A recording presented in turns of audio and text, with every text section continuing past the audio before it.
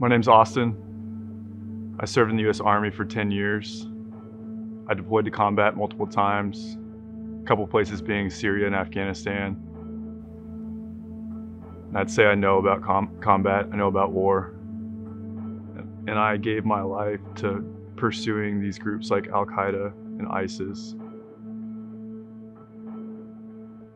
And now I've pushed that behind and I've chosen my family, my wife, my daughter, and what the future has in store for us within God. And, and truly, the family life and in the home and what we face here in this walk with Christ is, is more of a war than I faced out there. Especially the more I've leaned into Him. There's more spiritual warfare, but it's more rewarding. And it's more true, even though it's unseen by the eye, the majority especially. It's so much more true than this enemy that they gave us in a packet, an intel brief. And they said, These are your enemy, go hunt them now. I didn't know that guy. but I see the enemy over here trying to get in the way of my marriage trying to influence my children. So I stand for this side within Christ.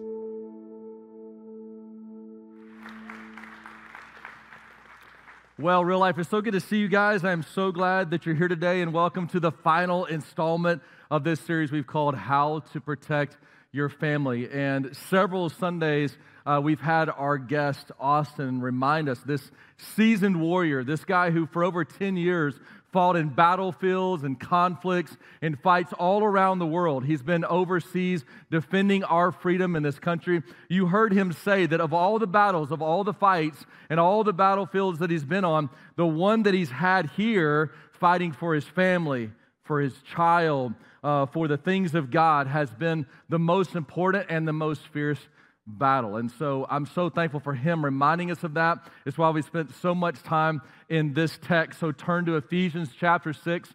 Uh, one last time in this series. And um, if you don't have a Bible, we'd love to give you one. Gave out four Bibles uh, last Sunday out in the lobby here in Austin. Uh, but love for you to have a copy of God's Word. Also, take out your message notes if you would. There's a way to follow along. We've got them in the Corpus home churches and online. You can download these because I want to start today with a verse that's in your notes, and I'll put it on the screen for you. Ephesians chapter 6, verse 12, Corpus uh, online right here in the room. Let's say this together, real life. What does it say? We are not fighting against humans. We are not fighting against humans. Uh, Corpus Home Church online right here in the room. Turn to your neighbor and just say, You are not my enemy. Just tell them, You are not my enemy, all right? I know it sounded like we were enemies on the way here, but you are you are not my enemy. Listen, if you can see them, they are not your enemy. Uh, we are all in, the, in a fight. So circle the word we in your notes. We are not fighting against humans.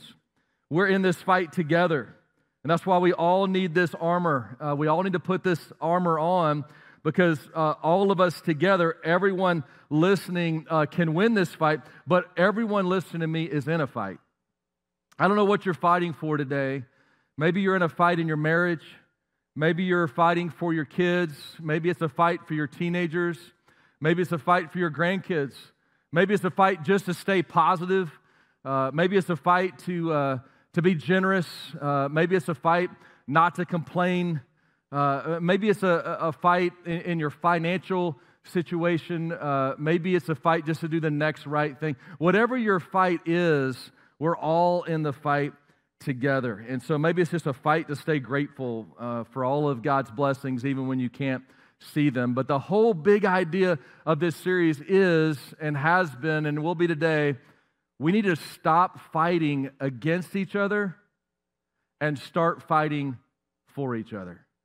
That's why we're putting on this armor. Um, and that's why I had you circle the word we, because we win together.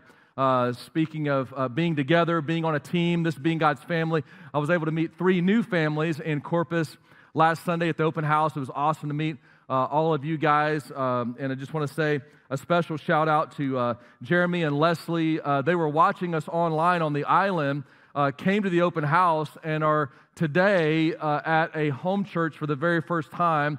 Uh, them and their five children. so I want to give up a big round of applause for Corpus. We love you. Awesome. Uh, big thank you to the Garys and to the Stegals and the Stouts for opening your home, having home church. We're almost there in that temporary space and can't wait uh, to be together with you guys in a few weeks. But we is greater than me. We can make it through it together. We can win together. We have to stay connected. That's why the enemy's always trying to divide us, always trying to get us to be mad at each other, always trying to promote division and disharmony and disunity. Because if we're divided, then we're losing the fight. But we have to win, and we are not fighting. If you can see them, they're not your enemy. There is a spiritual battle, and we have to fight together to push back darkness with the light and love of Jesus. So before I get into the text today, I just want to remind us a couple things about we. Like we, we have to stay together. Uh, so best time for me to do two quick uh, invitations. The first one is is to the series next Sunday. So I'm going to start a series called "This Is Stressful." Uh, and uh, it just is. I don't even have to have a show of hands, everybody. It's stressful. You're in stress. And so you get one of these cards, you uh, post it on Facebook, Instagram, you invite some friends to come. And don't do this, though. Don't go, you look stressful. Here. No, they're already stressed. Man, we're in an election cycle, the price of milk's up, and we've got holiday season, and the in laws are coming. Okay, we're stressed. And so don't ask them if they are stressed. Just say, hey, I'd love for you to come. And we kick off that series next week. That's gathering for all of us. We need to keep coming uh, together. Also, a special invitation to those who haven't come to Next Step yet. Uh, we've got a special one time seminar, it's a couple hours long, where we just spend time with you. And we've got one coming up uh, at each campus before the end of the year. So at Austin and online, it's next Sunday. So don't miss it. If you haven't officially connected with us, we want to hear your story, you to hear ours. And this is a fast track way to connect. Uh, if you're in uh, Corpus, we're going to have a next step on that soft launch in December. So I'd love to meet you in person. Uh, but connection. We all need connection because we all need protection. So get to uh, next Sunday, but also uh, to next step. All right. So here's Ephesians chapter 6. Uh, look at verse 13. It says, Therefore, and by the way, you can write this in because we don't see it in the English language, but we put on every piece of God's armor. This is a plural uh, this ex- expression, a plural imploring of us to, we have to all do this. We have to put on every piece of God's armor. So you, circle that word you, that's also plural. Because we're Americans, we think that's us. We're just like, that's just me. No, it's you, all of you. In other words, you could literally say, so that all of you will be able to resist the enemy in the time of evil. So we need to put this armor on together. We've gone through the armor that's listed there. So go down to verse 16, and we're going to do the last two pieces today. It says, In addition to all of these, watch this, hold up the shield of faith. So we'll talk about the shield of faith today. Why do we need the shield of faith? Because it stops the fiery arrows. So circle fiery arrows. We'll come back to that. They're not just arrows, they're on fire, okay? Uh, the fiery arrows of the devil. So, verse 17 says, Put on salvation as your helmet. We talked about the helmet last week. Today, we're going to talk about the sword. It says, Take the sword of the Spirit, which is the Word of God. Now, this language is meant to motivate you. This is like a locker room speech before you go out for the game. This, this text is meant to inspire you, like, hey, there's a fight. Are you ready? Like there, there, there's a war. Are you in? I mean, it's like there's an invisible enemy and we're going to win, but we got to do this together. Let's put on some armor and let's go, okay? It, it's like this, uh, you know, this imploring battlefield speech. It's like the opening of the movie Gladiator, which every man listening to me has seen at least 50 times. It's like, honey, haven't we seen that? Yes. But I love this part, and then I love this part, and I love this part, okay? At the beginning, there's a big, huge battle scene. The armies are lined up, and you see this clip here, and you've got the archers. This is how the war starts. The archers put their arrows into fire. It's like, hey, before anything hits the field, we're to launch some arrows, and we're to intimidate our enemy, and we're to take out some of them. But we're to let them know, like, hey, There's some arrows coming at you, and we need to. This text says, as Christians, there's arrows flying at us. Watch this. After they dip them in fire, they're going to launch them.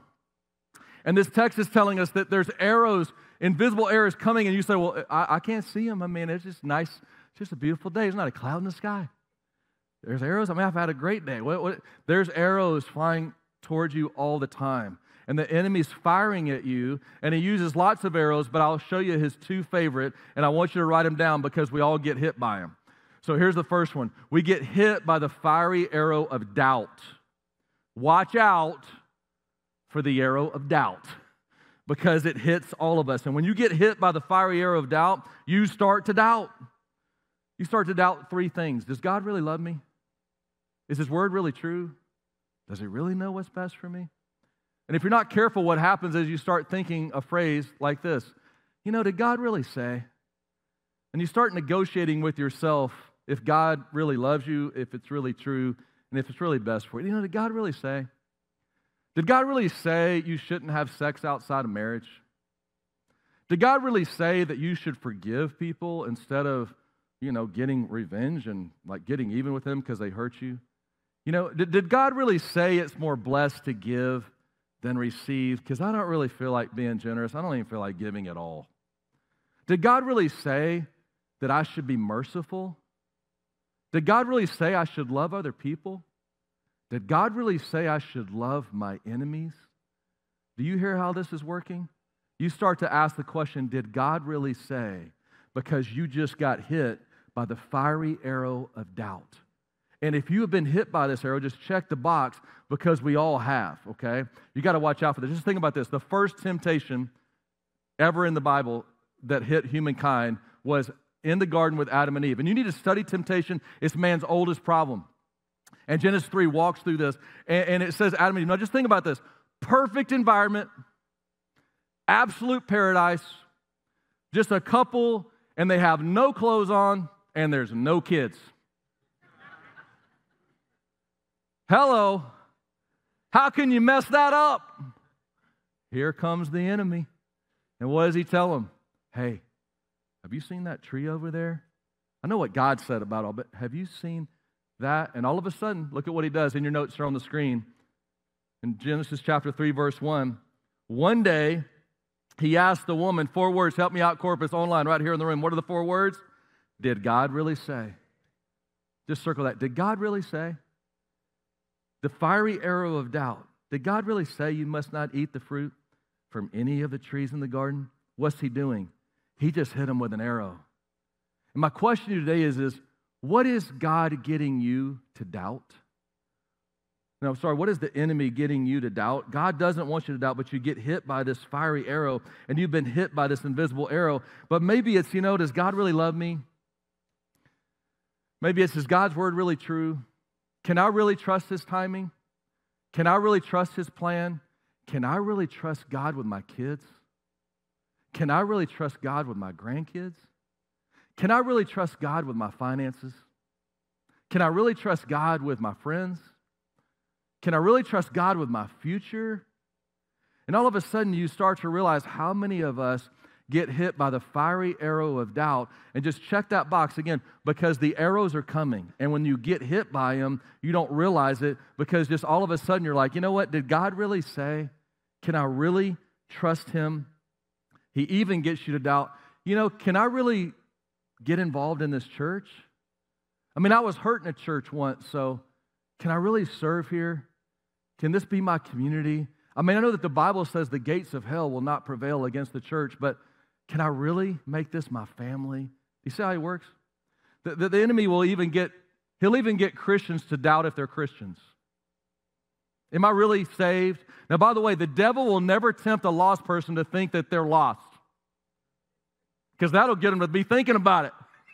He only gets children to think about if they're not children.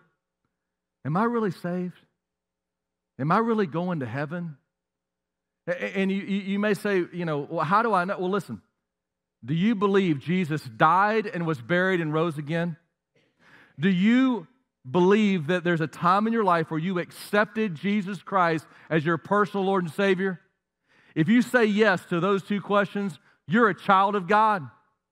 Doubt says, ah, I can't be that simple. The word says different. Look at this in your notes on the screen, John chapter 1, verse 12. It says, But to all who, help me out real life, believed him, and help me out with the next word, accepted him, he gave the right to become children of God. You believe in Jesus? You've accepted him as your Lord and Savior? You're in. It's time for a battle, and you're on the winning team. But if he can get you to doubt, then that gets you to stop doing what he wants you, what God wants you to do. So you got to watch out for the fiery arrows of doubt and hold up your belief in Jesus, not your belief in yourself, and it quenches that arrow. Here's another one, though the fiery arrow of fear. Because my question is, is what are you afraid of? And if you've been hit, you know you need to check this box because you've already, you're afraid. What are you afraid of? You're afraid of an illness? You're afraid of who's going to get elected? You're afraid of a doctor's call? Are you afraid of a disease? Are you afraid of a breakup? Like, oh, I think they might leave me? Are you afraid of a, a friendship that maybe they're mad and maybe they won't talk to you? What are you afraid of? And have you noticed that we live in a culture that teaches you to be afraid? The world's just like, hey, are you awake? Good, here's everything to be afraid of. And if you're not afraid, just go watch the news. Have you noticed no matter what you watch, what outlet you watch, it's always a crisis? It always says alert, you know? It's like alert, you know? Travis Kelce and Taylor Swift might break up. You need to worry. I know you didn't know, but now that you do, I know you're worried. And if you don't have anything to be afraid of, oh, the news will help you out. Because now that you know this is happening 800,000 miles away from you, then now you can worry. We'll fill you with fear. The, the, the enemy wants you to fear. You've just been hit. And it just happens. Be careful. Whatever has your attention has you. And the world wants you to focus on things to be afraid of them. But the only thing that can stop a runaway train of fear is faith. Look at 1 Peter chapter 5 verse 8. Help me out real life. Say the first two words with me. What are the first two words? Stay alert. Somebody just woke up. like I was asleep. Oh, stay alert. What are we doing? You're in a fight. You're in a battle. You got to wake up. You got to realize, stay alert. Watch, watch out for your great enemy, the devil. He prowls around like a roaring lion, looking for someone to devour. You know, uh, lions out in the wild, their roar is 114 decibels. That's the same decibels of a thunderclap. When thunder hits, what happens to you? You, you freeze. You're paralyzed. Out in the wild in Africa, when a lion roars, you can hear it five miles away. It doesn't matter if he's close. I heard a lion. And it's designed to do what, for them to hunt. So when a lion roars, the prey paralyzes. You know why this is good for the lion? Because they could outrun the lion, but they're scared. The only way the enemy can defeat us as Christians is if we stop doing what God wants us to do and we get paralyzed because I'm telling you, if you're a follower of Jesus, this lion has no teeth. Now that's funny. He's roaring like he's going to hurt you. But if he does get to you as a believer, he can't get to you because our Savior and Lord has conquered death, sin, and the grave. So when he roars, he wants you to stop and be afraid and act like you're an orphan. Act like you don't have an army. Act like you don't have any armor. Act like you don't have a God who commands the army and he wants you to stop, but that's why you got to stay alert. And by the way, what we just read in 1 Peter 5 8, it's plural. We're doing this together. We have to be together in this. Now, we don't know about this, but Paul, when he wrote this in his culture, knew it very well. So let me go back to the Gladiator movie, all right? So here's the shields, and I want you to notice, and you really can't see all in this picture, but a shield, by, by, the way, a Roman shield is the size of a door for a house. I mean, if you got it up, nothing's going to get to you. But it's also designed to connect to another shield. And this is very important because your faith is strong when it's connected to other people who have strong faith. You see, this is why friends are so important. When you connect to people who believe in God and are strong in their faith, their faith will hold up your faith. And all of a sudden, when the arrows come, you're protected because you're in a group. Is this a good time for me to talk about life groups? You need other people to connect because when your faith gets tired, they'll say, Hey, it's okay. I will hold up your faith. We're going to do this together. Because when we're together and those arrows come and we're tempted to be afraid, watch what happens in this next picture. The arrows hit the shields. And my faith can actually protect your faith. Because that arrow was designed to hit you, but because we're together, it hit my faith and it absolutely has no power. The enemy wanted me to be afraid, but because I'm not afraid, now you're not afraid, now we are together in our faith. You say, Well, I want a strong faith. How do I lift up the shield of faith? Very simple. Write this extra note takers. Pray. I mean, it's not on the screen, but just pray. That's how you do it. You just start to pray. This week, just pray. You So, what that actually helps. Absolutely. Look at Psalm 34, verse 4. This is how you hold up the shield of faith. Say the first two words with me, real life. What does it say? I prayed. There it is. Man, I'm going to pray. What, what does that do? I prayed to the Lord, and He answered me. And what are the next three words? He freed me. Now, watch this circle pray, circle freed. He frees me when I pray. Not, what, notice, He freed me not from all my circumstances, not from the battlefield, but from the fear of it. I've still got problems, but I'm not afraid because God has freed me from all my fears because prayer lifts up the shield of faith. And my faith encourages your faith. And when you pray and I pray and we connect together, oh, it's unstoppable. It's unstoppable. You see, I want to encourage you to start praying this week and pray the truth over your life. And just say, you know what? I believe. I believe I'm a child of God. I believe that God is bigger and God is stronger than all the problems that I have. I believe that God is bigger and stronger than all the problems in the world.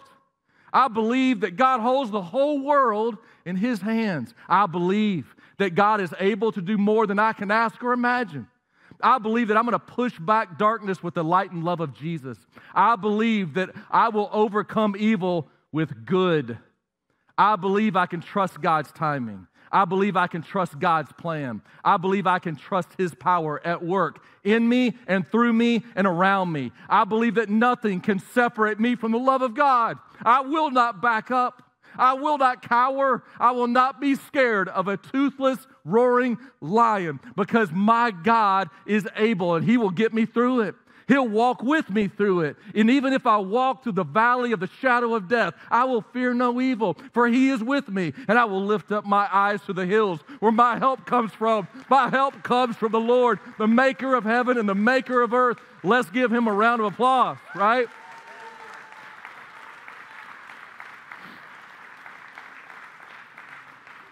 Now, how's your faith doing?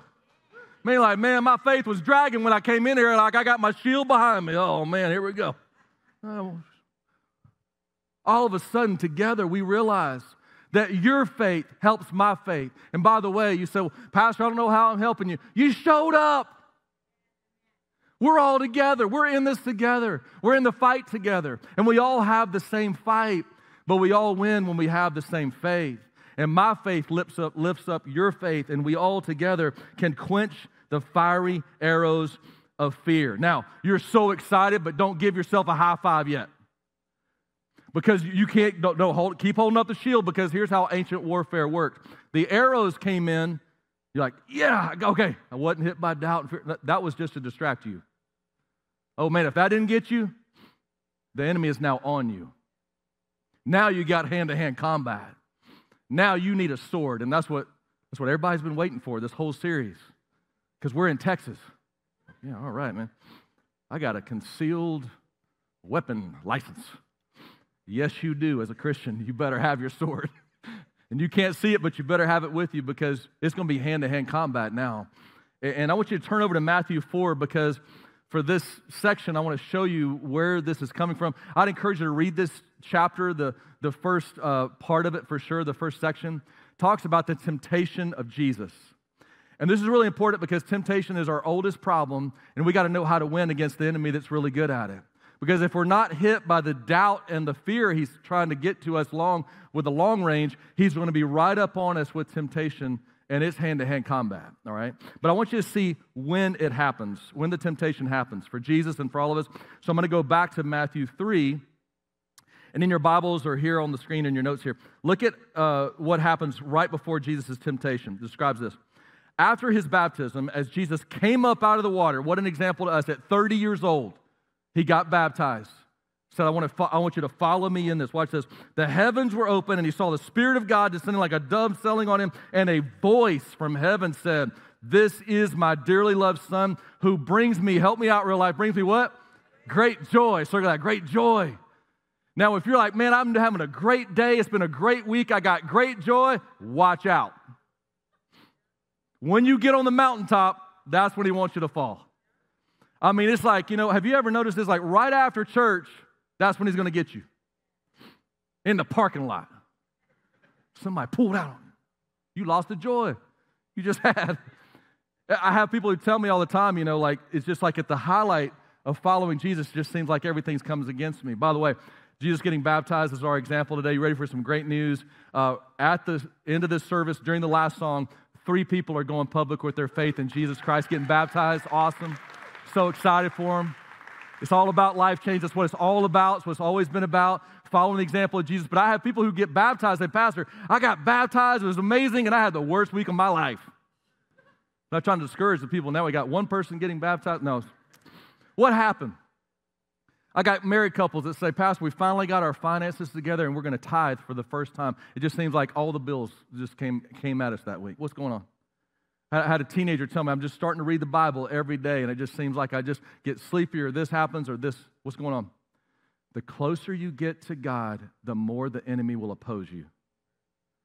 The, the closer you get to God, Jesus, perfect Lamb of God, is going to get the major opposition here. And I, listen, I don't know what battle that you like to look at, or game tape, or films. You know, uh, maybe you saw a battle yesterday, college called college football man, it's battles, tension, you know.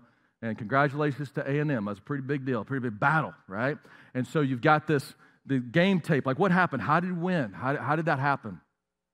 Maybe you're into, you know, UFC and, you know, Holloway got defeated and, and you kind of like, yeah, yeah, okay, I'm into this fight stuff. Great boxers winning, things like that.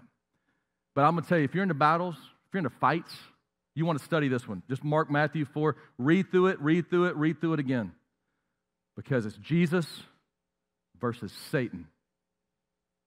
You talk about a battle? Satan can't be everywhere. He's not omnipresent, he's not omnipotent. Jesus is God, which means he is omnipresent and he is omnipotent, but he has confined himself in human flesh and he's here to save us. Now, watch this. If Jesus gives in to temptation, then he cannot be the perfect sacrifice for our sin when we give into temptation. You talk about a battle, this is epic. You're not going to get a better fight, a bigger battle that you want to study because temptation is man's biggest enemy and it's always it's our oldest problem. Okay? So what happens? Well, when does he come? After the pinnacle, and then look at this in your notes are on the screen, Matthew chapter 4. Notice it says 40 days and 40 nights. It's talking about Jesus. He fasted and became very hungry. I, there's not a bigger understatement in the Bible. Man, he didn't eat for 40 days and he was hungry. Are you kidding me? You guys would get hungry if you waited four hours. You know what I'm saying? It's like we call breakfast, you know what I mean? It's like breakfast, like breaking the fast because you hadn't eaten in eight hours. 40 days, man, he's weak. And by the way, when do you get tempted? When you're tired and when you're hungry. Some of us call it hangry. Why? Because, man, I'm. Now, watch this. Jesus, he's alone. That's when the enemy gets you. He can't influence you till he isolates you. And here he is, all by himself. And look at this. During that time, the devil came. What time does the devil come for you? You got to know how it works. And he said to him, If you're the Son of God, tell these stones to become loaves of bread. He's using a natural desire. Are you hungry? Of course he is. But use that natural desire in the wrong way at the wrong time for the wrong motive, and I got you. So this is this is Classic. This is temptation. I mean, Satan's throwing everything he's got. And look at verse 4. But Jesus told him, No, and read the next three words with me. What does he say? The scriptures say. And I want you to circle that because what Jesus is showing us, he's allowing his own temptation to be in the word so you know how to beat your temptation. The word, the sword of the Spirit. Jesus, if anybody could have just said, hey man, back up, it was Jesus. But he shows us how to win. He takes out the sword of the word and he says, The scriptures say, watch this, people do not live by bread alone, but by every word that comes from the mouth of God. So Jesus shows us and says three very important things about the sword of the Spirit, which is the Word of God. Just write this down. The Bible is more important than breakfast. I, I, I really want you to see what's happening here because he's like, hey, do you want food or do you want to do what God wants? I want the Word. I don't need bread. I will live on the Word. And man does not live by bread alone, but by every word that comes from the mouth of God, and that's how I'm going to live. So I want to encourage you this week, uh, before you eat breakfast, just try this just this week. Read the Bible before you eat breakfast. Now I'm going to just, it's another level of challenge here. This week, read the Bible before you check your phone. Read the Bible before you check any app on the phone, before you check the stock market, before you check social media, before you check a news app, before you check anything else, the weather app, whatever it might be, go to the Word. Now, uh, I'm going to actually show you a picture of my phone because I encourage you to do this. If you have a phone that has apps, I didn't even realize I've got five pages of apps on my phone, but I want you to move every app and only have the Bible on your first screen for a week. Because I didn't even realize how many things were coming against me or trying to get my attention. But I want to encourage you to have only the Bible on that screen. It's like, hey, I'm going to start with this. Now, somebody noticed in the first service, and it is true, I have 637 missed calls.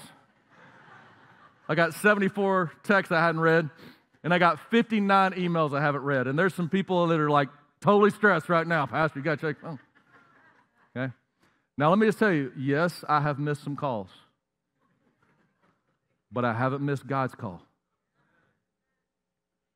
I got people who want to get in touch with me, but I want to stay in touch with God. And so make sure that you are going to say to the enemy, Oh, I'm going to feed my mind with this book. And this is the sword. And if you want to use the sword, you got to read the sword. And if you want to grow your faith, you got to have the sword of the Spirit. Now, Jesus is teaching us, watch this. Memorize verses that defend your weakness. What we see here is in Matthew chapter 4, I encourage you to read it. He says, The scriptures say three times. And what he's doing is, is he's showing the enemy that he's memorized the word. And by the way, the three verses that Jesus quotes to Satan, they're all from Deuteronomy. Most of us haven't even read Deuteronomy. What is Jesus showing us? Well, Deuteronomy was the book of God's people that Moses gave, that God gave through Moses when they were in the wilderness and they were wandering around and wondering if they'd ever get to the promised land. Here's Jesus in his wilderness using the same verses to apply to his wilderness. He's showing us that find verses that apply to your wilderness, to your weakness. And he quotes from this book and he's got listen, he can't go, he can't listen, Jesus in the wilderness, he can't go, uh, hold on, Satan. I know there's a verse about bread in the Bible. Hold on, let me see. I got to Google it. No, he's already eaten the bread at that point. He's got to have it inside. And he's quoting the word. He's showing you that the Bible, don't miss this, the Bible becomes the sword of the Spirit when the Bible gets in your soul. And all of a sudden, it becomes a weapon. Because if it's just sitting on your nightstand, it can't be in your heart. So, so, so we have to, to, to uh, fight this temptation with knowing our weaknesses. And so we're going to be tempted. Listen, some people are so intimidated by temptation. Don't be intimidated by temptation.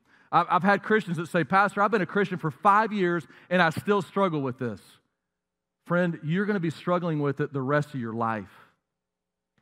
Temptation is everybody's oldest problem. But don't be intimidated by it because Jesus is tempted three times in one time here, and he's telling you, I was tempted.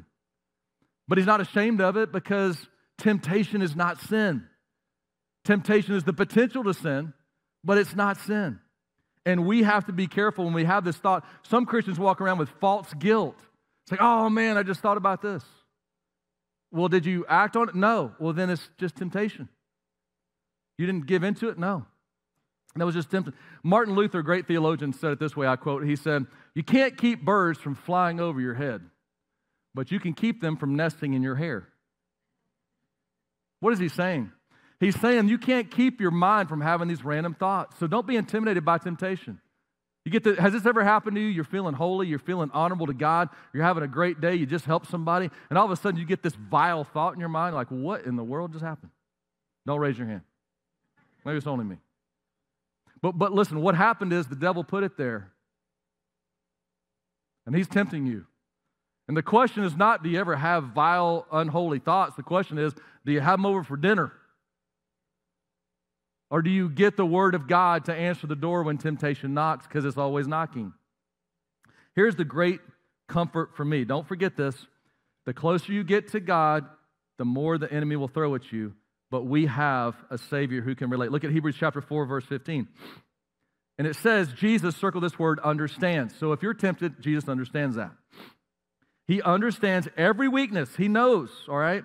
Every weakness of ours because, now read this next part with me, because why? He was tempted in every way. Wow. Every way you're tempted, he was tempted. Temptation is not something to be intimidated by. Every way that we are, but help me out with these next four words, but what? He did not sin. So circle temptation, circle sin. They're different. You're going to be tempted. Don't be intimidated by temptation.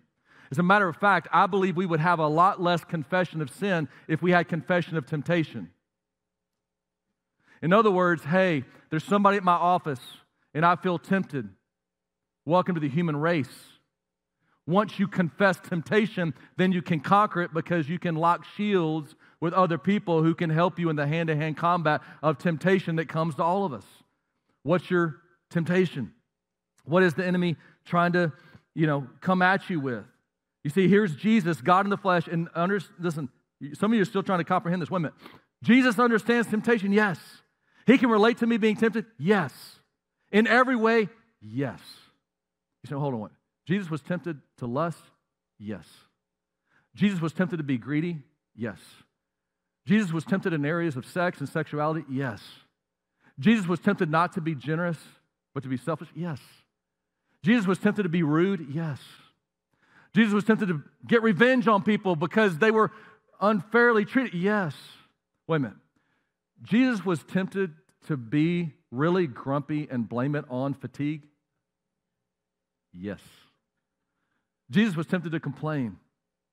Jesus was tempted to gossip. Jesus was tempted with everything you can imagine, and the weapon he uses is the word, for the scriptures say. So, the more I know of this book, because this is a weapon, the more I'm going to grow in my faith and be ready for the enemy. And so, I, so I want to be ready for the enemy. Well, good. So take out this card. It's in your program. And, um, and, and I want you to see this, but I want to put Psalm 119, verse 11 on the screen because this is what it has to do with. You can download this online also. So, real life, let's read this together. By the way, this is a great verse to memorize. So, Psalm 119, verse 11. Say this with me, real life. I have hidden your word in my heart that I might not sin against you. Now, watch this. The psalmist says, I have hidden your word on my nightstand. Not what he says. I've hidden your word on our coffee table. It's a really cool Bible, and people can see it in our living room. It didn't say, I've hidden your word. I think it's in the floorboard of my car, but I'm not sure. It says, I've hidden your word where? My heart so that I might not sin against God. If you want to win the hand to hand combat of temptation, you got to have the word. So you say, Well, I don't need to memorize any scripture. Well, the first one on here says, When you're tempted to think that you don't need to memorize scripture, you got your verse. We just read it. Man, you want to win? Hide his word. You're tempted with anger, you got a verse. You're tempted with worry, gossip, you name it. Being selfish, uh, being stingy, it's on here, okay? Find, and by the way, you, if you're like me, you start reading, I mean, I got to memorize all these. Start with one. This week, your assignment is to memorize a verse where you're weak. And don't be intimidated by temptation because it's coming against you. Get the word in your heart. Make sure that you're ready in your heart. Because when the enemy comes against me, I don't have a Bible with me.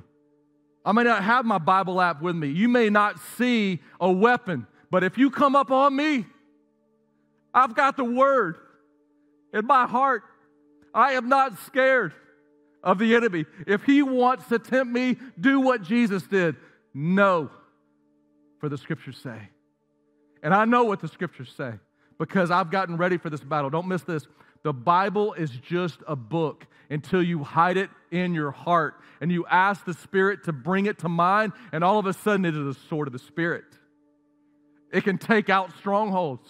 When the enemy comes against you, all of a sudden the enemy is defeated because you have the sword of the Spirit in your heart. So that's why you got to write this down. The Holy Spirit will help you.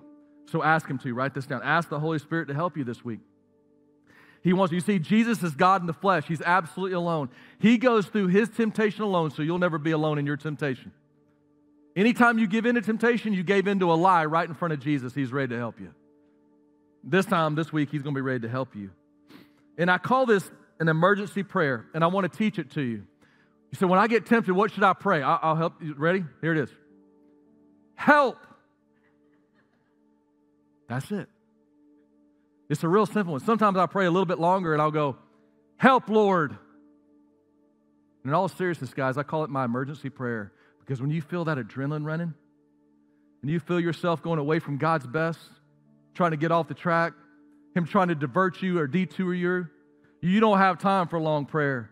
And I just want to encourage you this week don't give in to that temptation. It's just temptation. Just don't let the birds nest in your hair. Just, just, I mean, just say, Lord, help me. I'm trying right now. And I don't want to give into this. I know you can help me. Give me the power and the strength because I know that you're stronger. You see, the spirit in you is stronger. Look at this verse, 1 John 4 4. My dear children, watch this. You belong to God and have defeated them. You've already won. You're on the winning team, losing at temptation. You don't need to. He says, You've already defeated them because God's Spirit who is in you. Man, you have believed in Jesus, accepted him, he's in your heart. And watch this is greater than the devil. Wow. Man, I got lion roaring. It's okay. He that is in you is greater than he that's in the world. Jesus is greater than anything the enemy's going to throw at you. And that's why this week I just want to encourage you to pray this simple prayer and say, Help, Lord. It's what happened to Peter because I know I'm talking to people with faith. Peter had faith. He's one of the 12 disciples, but one of the top three. And in a storm that was really making everyone afraid, here comes Jesus walking on the water. Remember this story?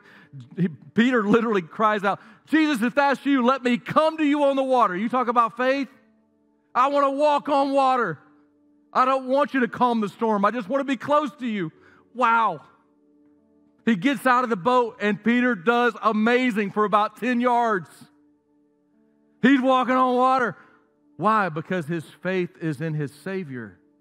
His focus is on Jesus. Whatever has your attention has you. He, he's, he's, I just want to get close to Jesus. And this is what happens to all of us. And all of a sudden it says he starts looking at the waves. And I know in this room there's waves in everybody's life. Some of your waves are big, bigger than you. And they're, they're, they're threatening to knock you down, and you've been hit by the arrows of doubt and arrows of fear. And what happens to Peter? He gets his eyes off of Jesus, onto the waves, and he starts to sink. And everyone here, you've started to sink. I'm losing. I'm giving in. I don't know if I can make it. But he says a prayer. I call it the emergency prayer. Peter's the one that taught it to me. You know what he prayed? Help, Lord. help. And you know what Jesus did? He did. And he'll help you. And Jesus came to him and he lifted him up back on the water, didn't calm the storm. God is much more interested in calming your heart than your storm. He's like, You're still on a battlefield, Peter, but now I'm with you and I'm going to help you. You know what Jesus asked him? Why did you doubt? And why are you afraid? He got hit by the arrows. And he's like, Peter, hold up the shield of faith, have the word.